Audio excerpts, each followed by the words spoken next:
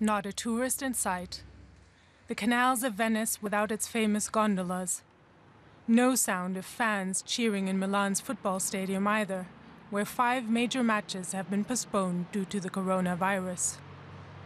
As new infections climb dramatically in Europe's worst hit country, the Italian government is imposing more drastic measures.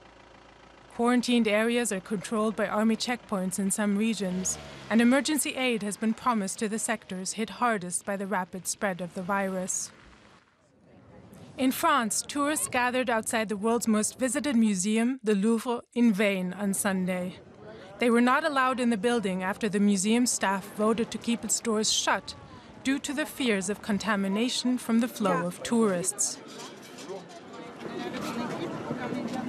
I want to go to see the Mona Lisa, the, the painting, but unfortunately it's closed. So I'm a bit disappointed. The French government has banned gatherings of more than 5,000 people, closing down trade fairs and large sporting events. Even though a half marathon in Paris was officially called off, hundreds of runners defied the ban and ran the full course. I'd signed up to take part in the marathon, and since I had nothing to do this morning, I thought I might as well go and run. It was my goal, and if I can do it, why not? We have to stop all this paranoia with what's happening. We have to keep things in perspective.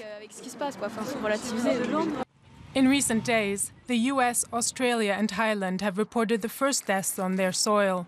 But with more than 50 deaths, Iran has the world's highest toll outside of China. The epidemic is impacting businesses and daily life and shaking the country's already struggling economy. People are panicked a little, and the stress has led to a drop in sales. People have also become more hygiene obsessed and buy less food from bakeries, restaurants, and caterers.